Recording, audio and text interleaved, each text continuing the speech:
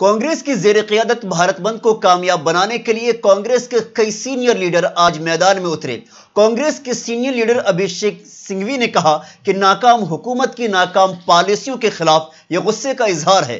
तो वहीं रणदीप सिंह सुरजेवाला ने कहा कि हुकूमत मुनाफे खा रही है और हुकूमत के जाने का वक्त करीब है। इस पार्टियाँ तो सिर्फ़ माध्यम है, ज़रिया है, जन आक्रोश कन्वे करने के लिए। आज जनता में जो असंतोष है और जो आक्रोश है, इस निकम्मी सरकार की, निकम्मी नीतियों के आधार पे, उसको उजागर करने का हमारा प्रयत्न है।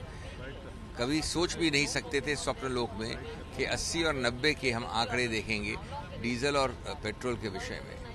आज 50 प्रतिशत इसका हिस्सा सरकार खा रही है, मुनाफा कर रही है टैक्स में, और एक पैसा कम करने को तैयार नहीं है, रियायत देने को तैयार नहीं है।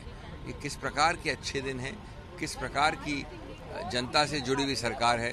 मुझे आश्चर्य हो रहा है, मैं चौंका हुआ अब सरकार नहीं, मुनाफाखोर कंपनी चला रहे हैं और 11 लाख करोड़ की लूट, जो पेट्रोल और डीजल पर टैक्स लगाकर मोदी सरकार लूट रही है, अब उसके जाने का विदाई का समय आ गया।